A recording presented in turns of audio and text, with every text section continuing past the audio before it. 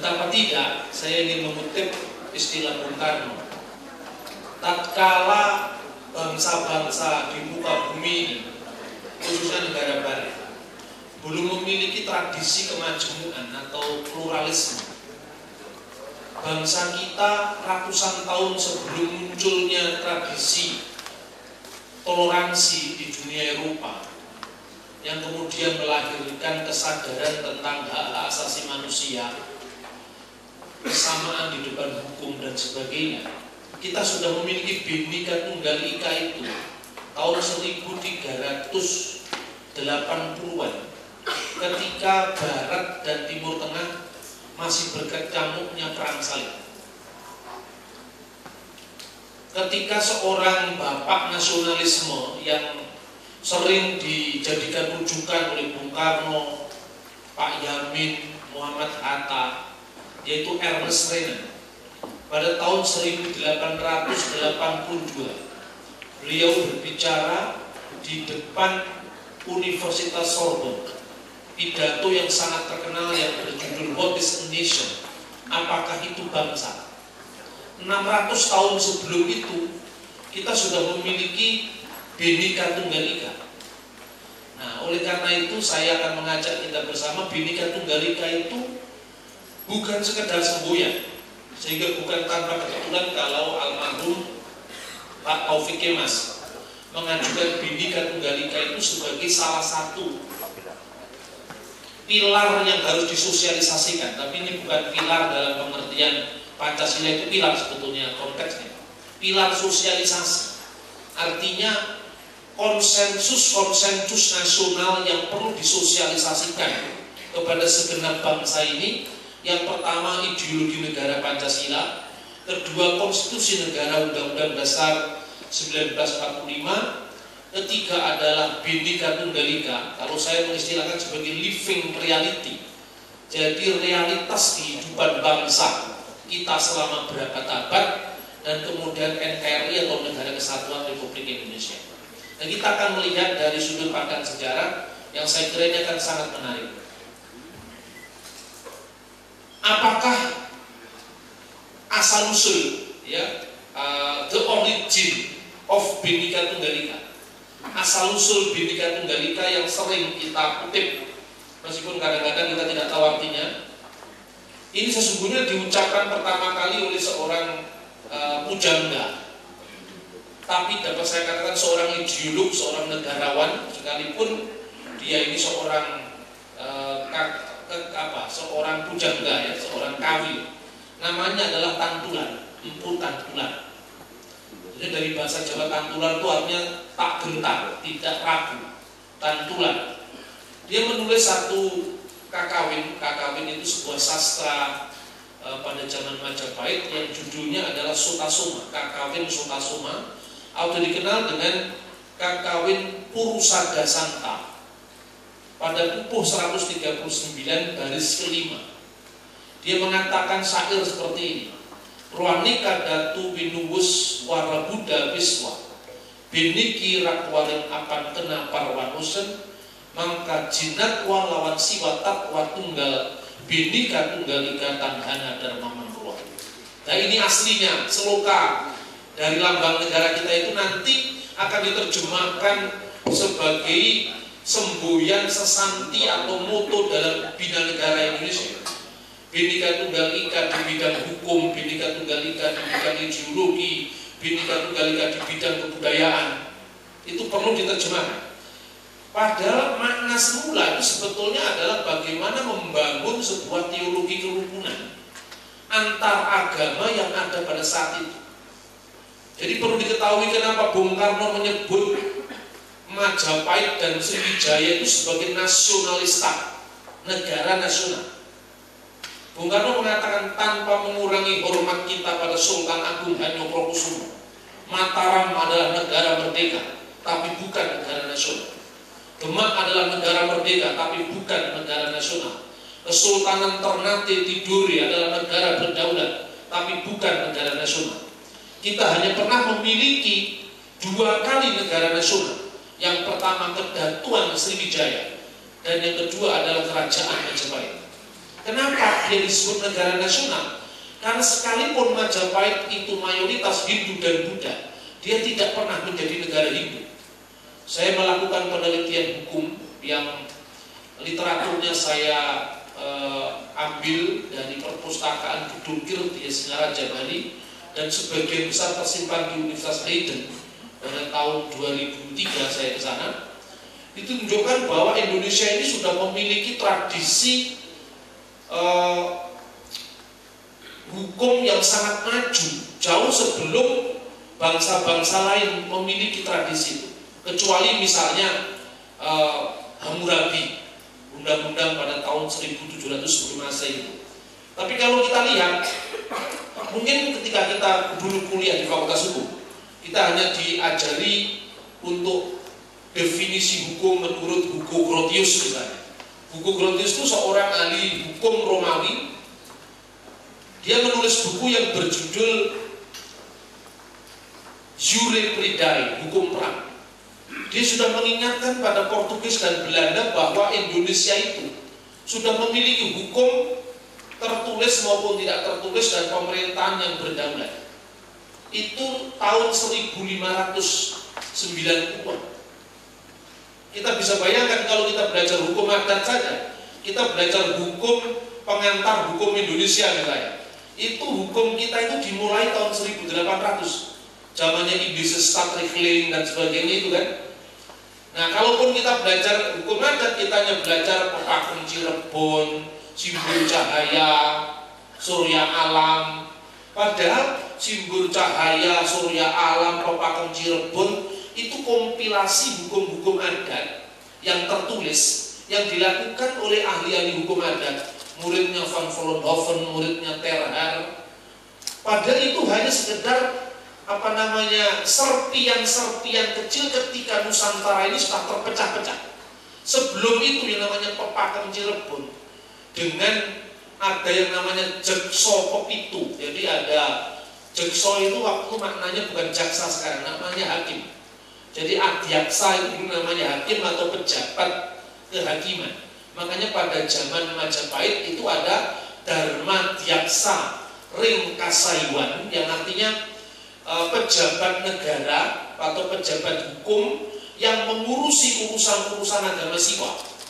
Lalu ada Dharma Diaksa Ring Kasugatan, pejabat hukum negara yang mengurusi agama Buddha. Nah itu di bawah satu eh, apa namanya sistem pemerintah yang langsung dibawa oleh raja eksekutif namanya Pahom Narendra di mana Mangku Bumi atau Patih itu posisinya sekarang seperti Perdana Menteri. Jadi sistem hukum kita ini sudah tertib luar biasa.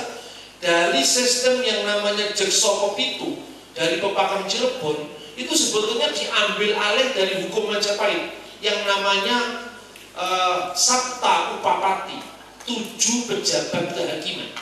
Dalam tujuh pejabat kehakiman itu sel, sel, sel, selain dia harus mempertimbangkan ahli hukum, ketika dia memutuskan hukum dia didasarkan atas undang-undang tertulis yang namanya Utara Manawa Dharma Sastra. Lalu ada yang namanya guru kakak yaitu jurisprudensi yang diteruskan dari putusan-putusan hakim sebelumnya. Kemudian yang ketiga hukum rakyat yang hidup yang namanya uh, apa itu desa desa dan setelah itu didampingi oleh pejabat-pejabat yang mewakili seluruh agama di Majapahit itu. Dua yang paling besar Dharma Diaksara Kasaiwan Dharma Tiaksara Kasugatan baru hakim memutus putusan di pengadilan. Sejarah hukum yang seperti ini saya kira tidak pernah dipelajari di fakultas-fakultas hukum. Sebab sejarah hukum yang kita pelajari itu adalah hukum kolonial di Indonesia sejak tahun 1800-an. Maka Profesor Joko Sutono, seorang ahli hukum adat di Universitas Gajah Mada pernah mengatakan, seandainya hukum nasional itu bisa kita runut sejarahnya, bahkan sumber tertulisnya, maka mungkin kita tidak perlu bergantung dengan hukum asing. Yang sekarang ini pun KUHP kita masih Wetboek van Strafrecht Indonesia yang diwarisi dari KUHP Belanda, Belanda dari e, Prancis ya. Tetapi itu saya hanya ingin menunjukkan kepada Bapak Ibu Saudara-saudara, Bhinneka Tunggal Ika itu bukan sekedar seloka yang bermakna seperti pluribus umumnya Amerika. Dia lebih tinggi daripada itu karena dia direfleksikan oleh refleksi teologis kefilsafatan, refleksi politik kenegaraan, bahkan refleksi budaya.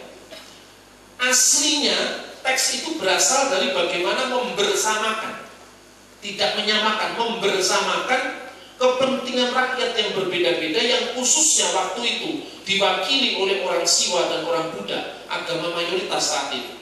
Maka diartikan begini, konon dikatakan wujud Siwa dan wujud Buddha itu berbeda. Siwa dan Buddha memang berbeda, kata Tantulan. Namun bagaimana kita bisa mengenalinya? Lalu dia menekankan hakikat Cina atau Buddha dan hakikat Siwa adalah tunggal berbeda-beda tetapi satu, tidak ada kebenaran yang kedua. Kita lanjutkan.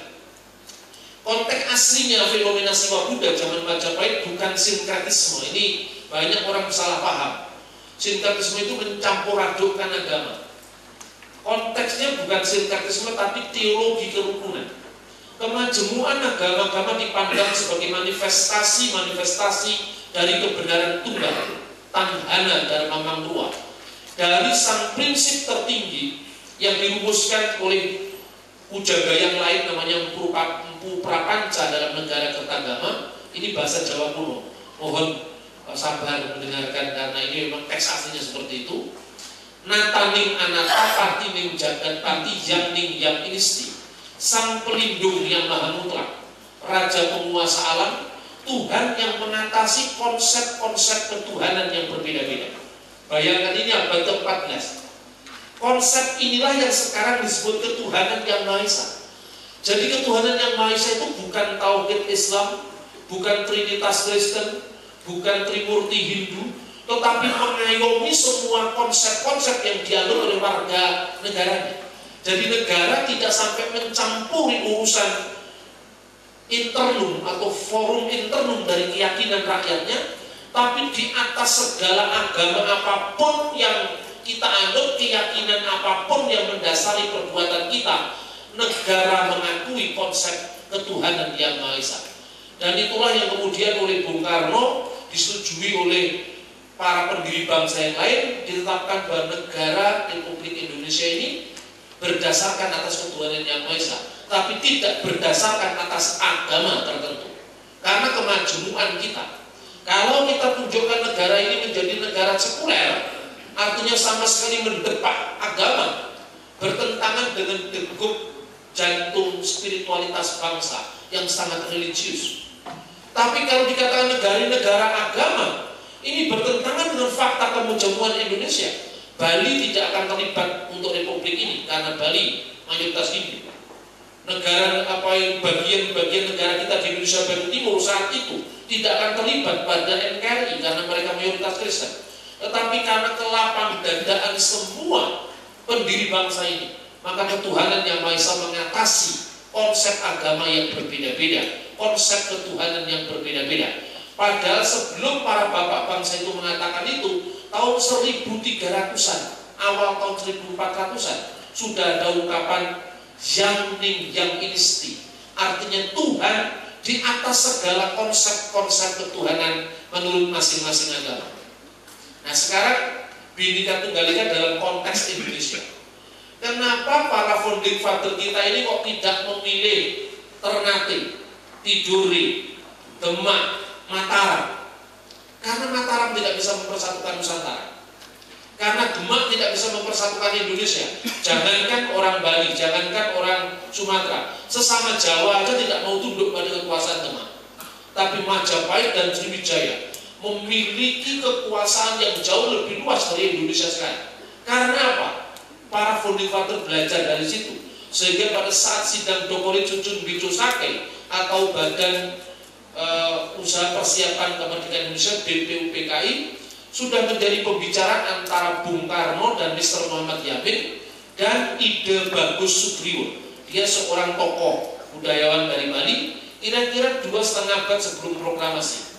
Para pendiri bangsa sepakat untuk menafsirkan seluka ini lebih luas, bukan sekadar kebersamaan Hindu-Buddha, bukan sekedar seloka yang terkait dengan pluralisme agama di Majapahit, tetapi terkait dengan kehidupan kebangsaan yang lebih kompleks, etnik, suku bangsa, bahasa, adat istiadat, dan sebagainya yang menyatukan satu bangsa dan satu tanah air, yaitu Indonesia.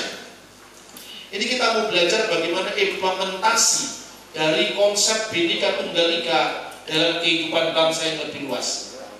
Saya pertama-tama ingin berangkat dulu dari dalil seorang uh, Indonesianis ya, namanya Dennis Lombard. Dia seorang Indonesianis dari Prancis, dia ahli dalam uh, apa namanya sejarah bahkan kebudayaan Indonesia. Dennis Lombard itu mengatakan demikian. Masa awal sebuah kebudayaan menentukan masa kini dan masa depan. Ini menarik. Masa awal kadang-kadang orang itu tidak mau. Apa sih perlunya kita belajar sejarah? Bapak Ibu saya kira banyak mendengar itu. Sejarah itu hanya kumpulan angka-angka, rentetan peristiwa-peristiwa begitu kan. Tetapi dari Slovan sebagai seorang ahli Indonesia, dia mengatakan bahwa masa awal sebuah kebudayaan itu menentukan masa kini dan masa depan. Coba sekarang bandingkan dengan Mesir. Mesir itu memiliki yang namanya tujuh pilar peradaban. Tujuh pilar peradaban selama 3000 tahun itu mereka berhasil mengelola perbedaan. Seorang yang bernama Milad Hana, Dr. Milad Hana, dia seorang Kristen Koptik Ortodoks. Dia berkata demikian dalam bukunya yang berjudul Kobulul Akar Kobulul akhar itu artinya budaya menerima pihak lain The others, orang lain Agama lain e, Pokoknya dia yang di luar dirinya yang berbeda Tapi bagaimana hidup bersama-sama Min ajri tawasul hiwar al-hadar Demi terjalinnya dialog peradaban Dia mengatakan kami bangga menjadi orang Mesir Karena kami ini punya tulang belulang Fir'aun jadi artinya punya peradaban yang besar 3000 tahun sebelum Masehi dia sudah punya piramid. Itu ngelemnya pakai apa itu? Batu batu yang begitu besar. Kalau ada bicara tentang Borobudur memang hebat juga. Tetapi itu baru abad ke-8 Masehi.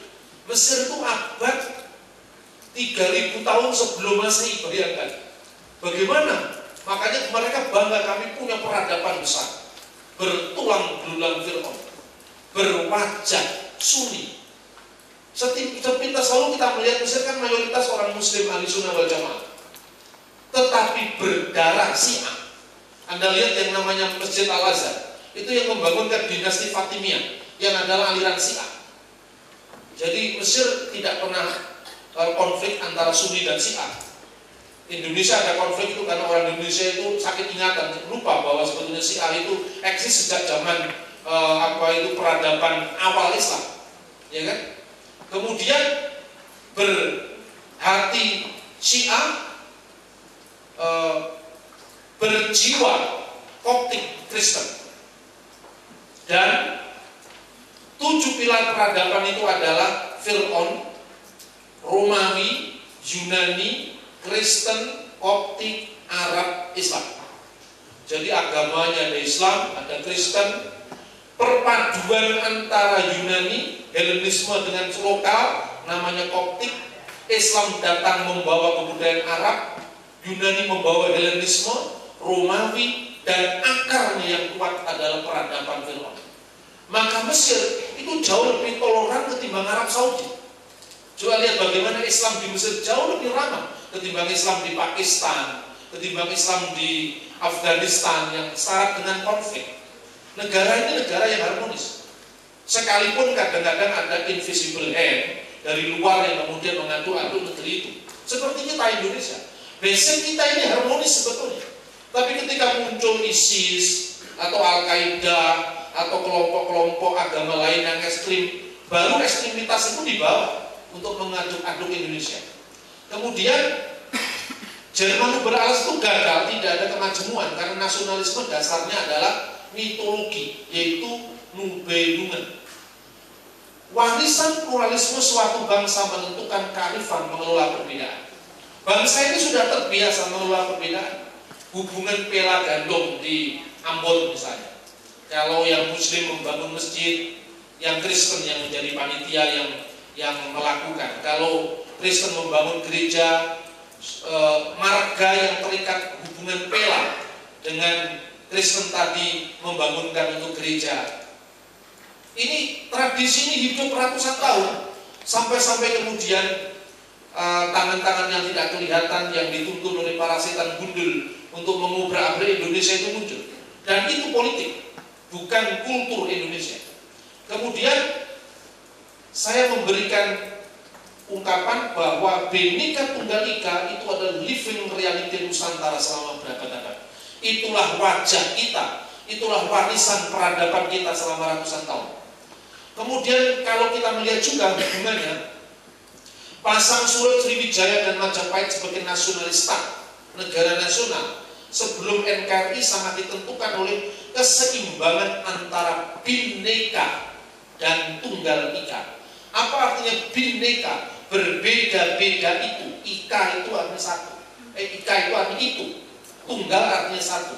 Bineka berbeda-beda itu sesungguhnya tunggal eh, itu tunggal ika tunggal itu.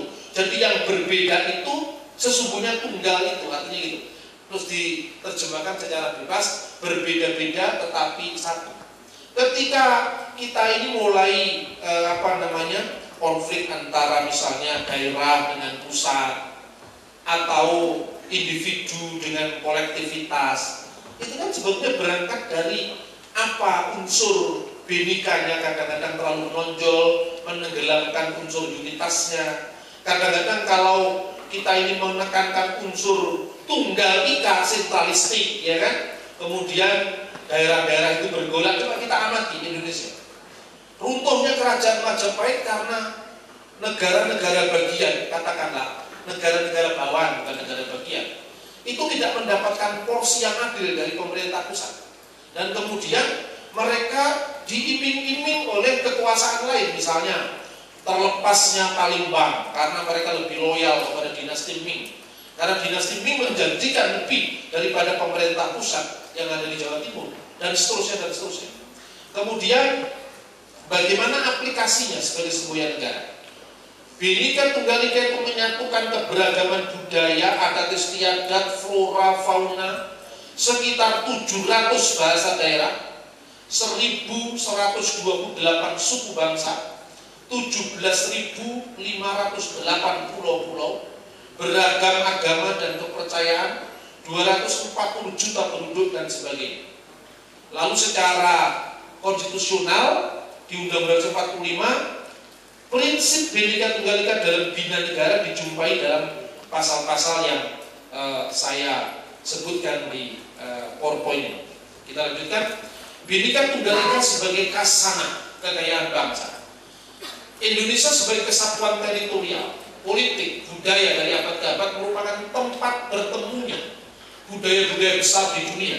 Cina, India, Arab, Eropa maka kata Nusantara artinya Nusa pulau-pulau, antara itu hamparan, hamparan pulau-pulau. Tetapi juga sekaligus menjadi hamparan nilai-nilai budaya dunia yang saling bertemu dan berdialog secara dinamis. Fakta ini dicatat oleh sejarah dunia. Sefer Yesayahu atau kitab Nabi Yesaya, Herodotus, Ptolemeus, Ramayana, Purana-Purana Hindu jauh sebelum bangsa kita sendiri menuliskan sejarah. Sejak SD SMP kita diajari prasejarah Indonesia itu sebelum abad keempat dengan ditemukan prasasti Kutai Mulawarman itu disebut sejarah Indonesia sejak ditemukan tulisan itu baru abad keempat Masehi. Padahal sebelum bangsa kita ini menulis sejarahnya, Bangsa-bangsa lain di muka bumi ini sudah mengagumi Indonesia. Itu yang ingin terus-menerus saya kampanyekan di Indonesia ini. Sebagai seorang pengamat budaya, saya ingin menimbulkan kebanggaan bahwa kita ini bangsa yang besar, bukan bangsa tempe kata Bung Karno. Karena tidak ada alasan kita membanggakan Afghanistan, tidak ada alasan kita membanggakan Pakistan. Kita bangga sebagai bangsa Indonesia karena kita pantas untuk bangga karena hamparan nilai-nilai secara berabad-abad yang dikelola secara sangat harmonis. Ini contoh. Nah, saudara-saudara, ini kutipan dari teks Ramayana India. Kalau Ramayana jangan hanya membayangkan Prambanan karena Prambanan itu sudah sejak abad-abad baru ya. Ini abad kedua sebelum Masehi. Abad kedua masih tahun 150 tapi teks uh, lisannya artinya bukan teks prateksnya tradisi lisannya itu berasal dari abad kedua sebelum masih di sini telah dikatakan makanya kalau anda membaca buku coba anda klik di internet ya tentang Madagaskar. Bangsa Madagaskar itu bangga karena mereka ini turunan orang Indonesia pelaut-pelaut Indonesia yang datang ke Madagaskar kira-kira abad ke-5 sebelum Masehi. Jadi bangsa kita ini memang bangsa bahari, bangsa pelaut ya. Makanya ada lagunya itu apa? Nenek moyangku orang pelaut itu. Itu memang betul. Biasanya orang-orang Makassar yang itu datang sampai ke jauh di Afrika Selatan sana. Ini rekaman tentang Indonesia menurut sastra Hindu yang berjudul Srimad Valmiki Ramayana Adikarya Maharsi Walmiki dalam bahasa asli Sanskerta. Ceritanya ini ketika ini namanya juga epos cerita kepahlawanan ketika Sita istrinya Rama Wijaya diculik oleh Rawana. Kemudian Rama mengutus duta untuk mencari Sita itu kepada Sugriwa, Subali, akhirnya para wanara itu dan dia bersabda begini, Yatnawanto Jawa Dwipam Sabta Raju Pasupita. Jelajahilah Pulau Jawa. Jelajahilah Pulau Jawa Itu ditulis. Usahakan sungguh-sungguh untuk menjelajahi Pulau Jawa Yang dianugerahi dengan tujuh kerajaan. Suwarna Rupiah Kadwipan Suwarna Karaman Hitam yang diaku tujuh kerajaan Sabto itu Sabta tujuh pulau emas perak yang dihiasi dengan tambang-tambang emas. Lalu di situ ada ungkapan Jawa Dwipamati Krangnya Sisiro nama Parwata. Di sebelah paling jauh, ujung jauh pulau Jawa itu ada suatu gunung namanya Gunung Sisira, maksudnya Jaya Wijaya. Puncaknya bersalju menyaput langit, dikunjungi dewa-dewa dan dihuni para danawa. Danawa itu bahasa Jawa kuno artinya raksasa bahasa Sanskerta. Jadi orang Papua disebut raksasa karena tubuhnya besar-besar. Itu caranya orang-orang India melecehkan bangsa lain, tapi serentak dia mengakui bahwa Indonesia sudah eksis jauh sebelum bangsa ini sendiri menuliskan sejarah. Akar budaya religiositas bangsa. Nah sekarang apa hubungannya dengan toleransi dan kemajemukan? Dari akar sejarah yang panjang ini kita belajar Jauh sebelum kedatangan agama-agama luar, Hindu, Buddha, Islam, Kristen, bangsa Indonesia sudah berketuhanan yang Maha Esa. Keyakinan mengenai the supreme being, jadi keberadaan yang adikudrati, disebut dengan istilah Jawa kuno Yang. Dan kata ini yang menjadi bahasa Indonesia sembahyang, menyembah yang, yang itu artinya Tuhan. Ini jauh sebelum Hindu masuk ke Indonesia. Seperti terpelihara dalam bahasa Jawa modern sembahyang. Dalam budaya Jawa kuno, Tuhan yang Maha Esa itu diibaratkan dengan gunung yang tinggi. Jadi artinya ketinggian Tuhan Subhanahu wa taala kalau istilah Islamnya itu digambarkan dengan simbol parwata seperti dicatat oleh Srimad Walmiki Ramayana. Dan konsep ketuhanan yang Maha Esa yang jauh-jauh sudah diyakini bangsa Indonesia itu pada zaman apa namanya Majapahit puncaknya adalah Bhinneka Tunggal Ika. Nah sekarang pengaruh budaya luar diterima, tapi direfleksikan kembali menurut filsafat atau filosofi bangsa. Kedatangan pengaruh luar diterima dengan ramah, tetapi tetap direfleksikan kembali menurut filosofi bangsa. Ini dibuktikan kalau tadi saya ngomong tentang naskah Jawa, sekarang saya bicara naskah Sunda abad kelima. Namanya Siska Kanda Ingkarsian. Dia mengatakan begini, Mangku bumi bakti di ratu, ratu bakti di dewata, dewata bakti diam. Seperti menteri tunduk kepada raja, raja tunduk kepada dewa-dewa, ini mewakili agama-agama, dan agama-agama tunduk pada prinsip ketuhanan yang Maha Esa. Apa pun akidahmu, apa pun teologimu, apa pun ritus dan cara ibadahmu, tetapi semua manusia itu mengakui pada prinsip bahwa Tuhan itu adalah Maha Esa. Dan kemudian itulah yang puncaknya nanti direnungi oleh liputan tular dan diformulasikan dalam konsep Binika Tunggal Ika Tanhana Dharma Mandrua. Berbeda-beda tetapi satu kebenaran tidak berdua. Nah, karena berdasarkan pengalaman kemajmuan yang sangat panjang itu, para pemuda kita, Jong Ambon, Jong Selebes, Jong Jawa, kumpul menjadi satu di Jakarta pada tanggal 28 Oktober 1928 ada lima faktor yang memperkuat persatuan Indonesia. Pertama sejarah, bahasa, hukum adat, pendidikan, kepanduan.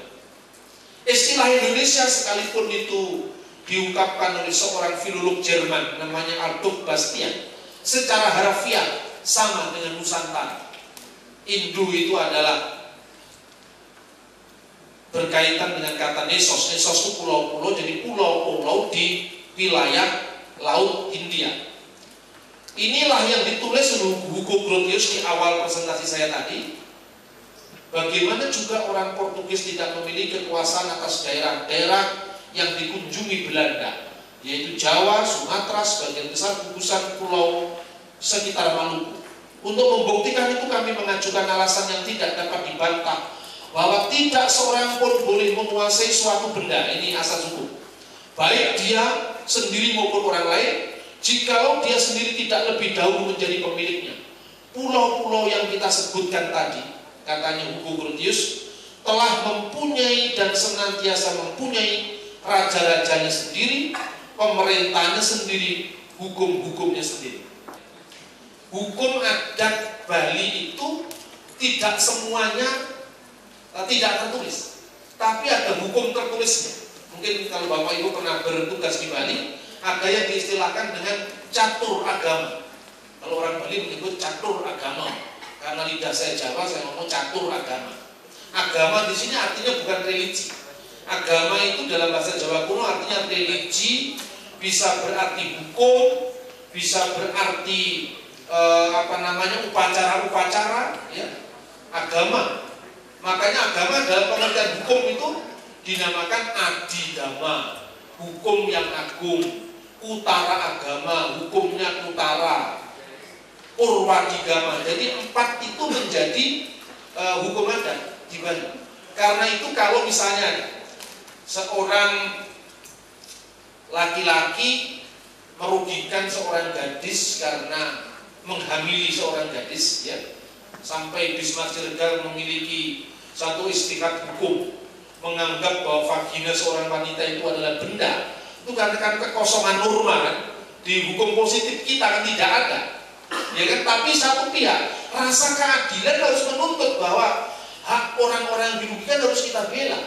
Kan gitu kan? Tapi kalau kira-kira kita bertugas di Bali itu sudah ada payung hukumnya. Misalnya eksistensi pidana adat yang namanya logika sanggraha misalnya Iwayan Narto telah terbukti secara sah dan meyakinkan melanggar undang-undang pasal 395 Undang-Undang Adigama Majapahit yaitu tentang logika sanggraha junto pasal sekian dan sekian Undang-Undang nomor 1 darurat tahun 1951 karena undang-undang itu mengatakan sejauh hukum yang hidup di masyarakat itu bisa menjadi hukum. Jadi artinya hukum Majapahit masih berlaku sampai hari ini. Ini luar biasanya. Jadi saya mengembangkan penelitian hukum adat khususnya Jawa kuno ini karena saya ingin melestarikan kebanggaan bangsa ini bahwa kita memiliki tradisi hukum berabad-abad. Nah ini yang saya berikan contoh. Ini salah satu kutipan dari teks Undang-Undang Agama 55 bahasa Jawa kuno. Muwah wong kang rusak candi, barang siapa merusak candi, prasada candi agung.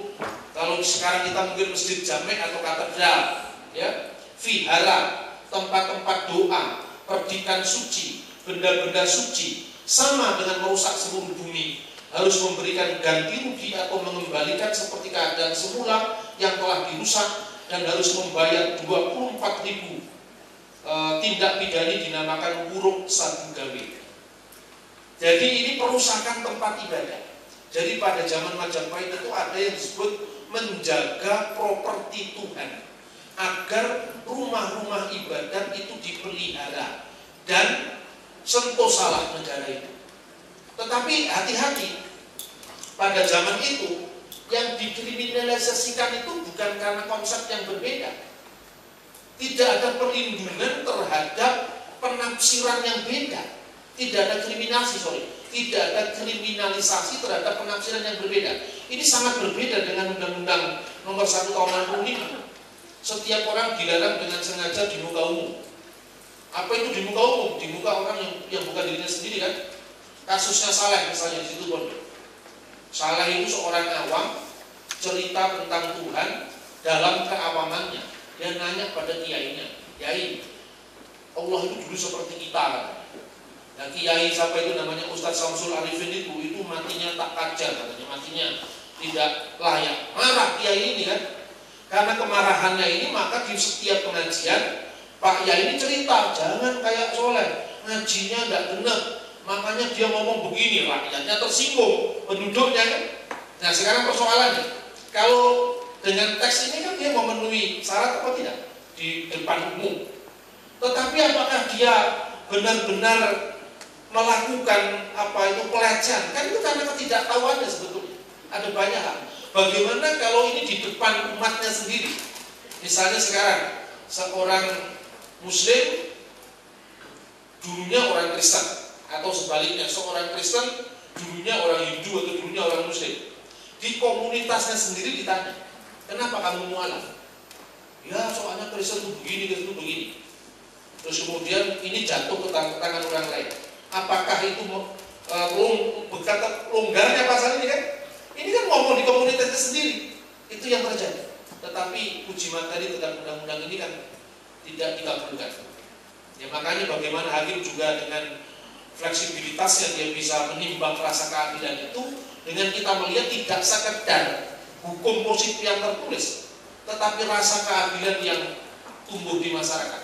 Kemudian melakukan penafsiran tentang suatu agama yang dianut di Indonesia kedua melakukan kegiatan keagamaan yang menyerupai kegiatan keagamaan dari agama itu penafsiran dan kegiatan mana menyimpang dari pokok-pokok ajaran agama itu ini sebetulnya sifatnya sangat longgar, jadi tidak lekserta. Sangat longgar karena apa? Menafsirkan agama yang menyimpang itu seperti apa? Kalau orang Katolik sama-sama Kristen kan, sama-sama Kristen, menafsirkan berdoa melalui para santo dan santa itu bagian dari e, apa iman Katolik. Di mata orang Protestan itu salah. Karena tidak berdoa langsung kepada Tuhan misalnya. Sama dengan orang NU, orang itu ada wali-wali ya. Muhammadiyah cuma ada wali murid kan seperti itu persoalannya kan? Ini sama dengan NU dan Muhammadiyah.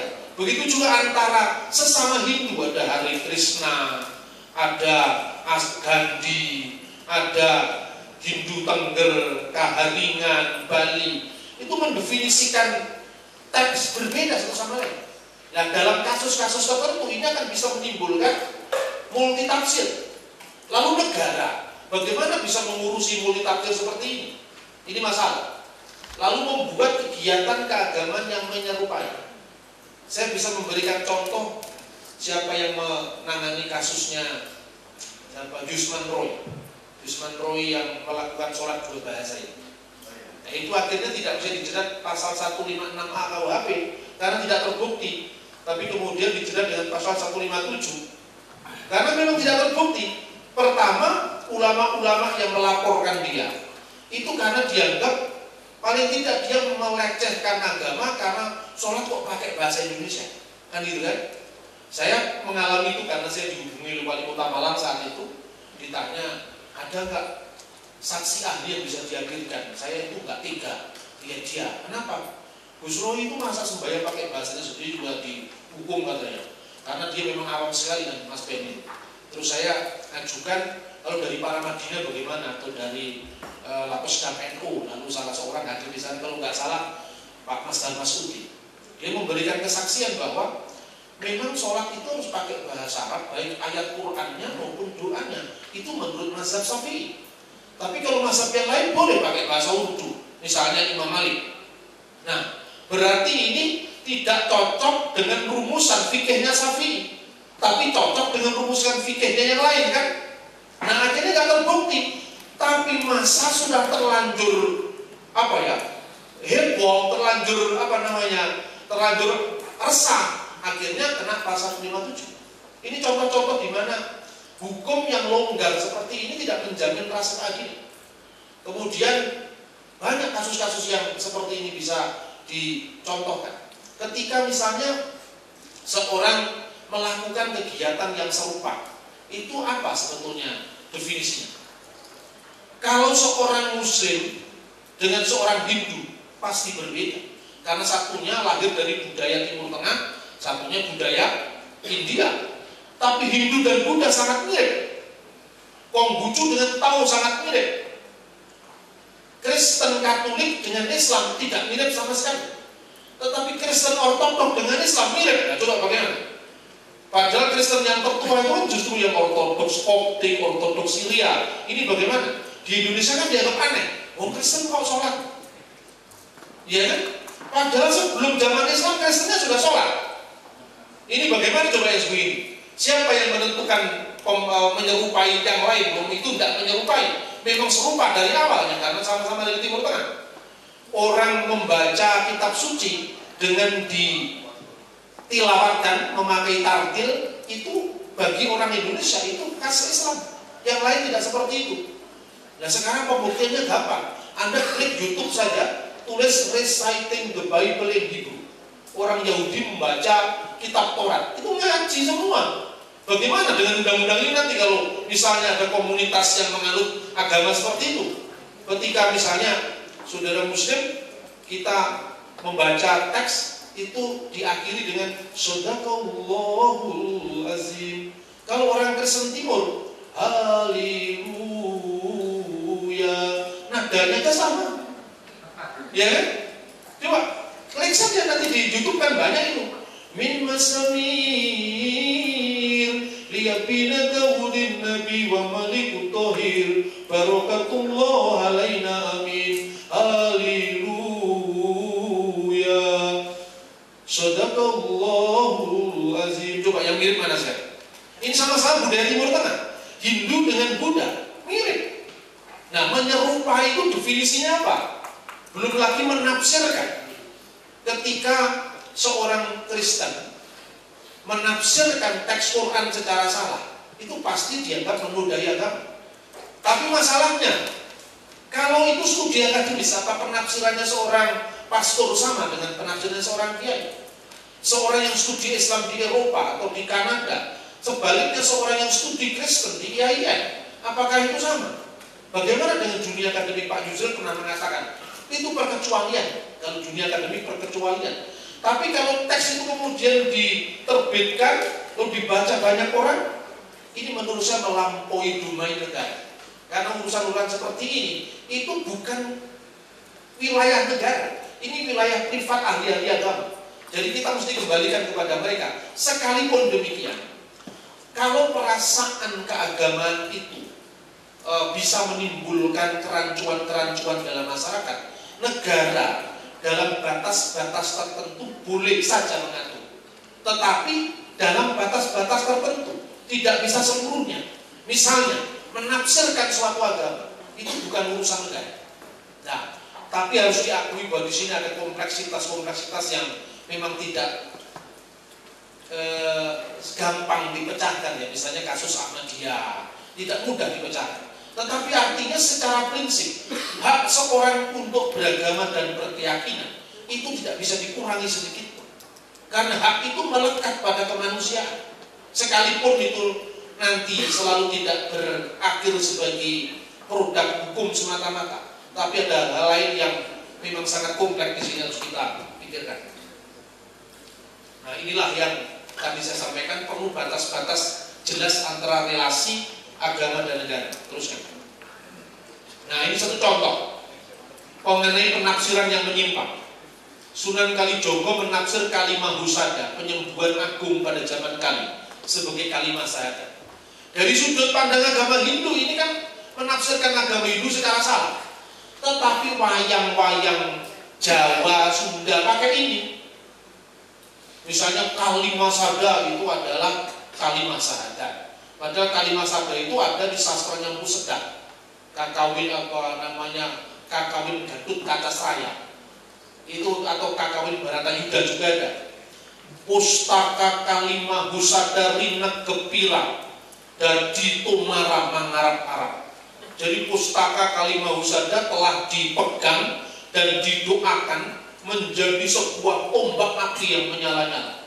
Itu abad ke-11 ditulis kemudian oleh apa itu sastra Jawa setelah Islam diartikan kalimat syahadat karena Prabu Yudhistira menurut dongeng Jawa, Jawa Islam itu tidak bisa mati sebelum bisa membaca ajimatnya.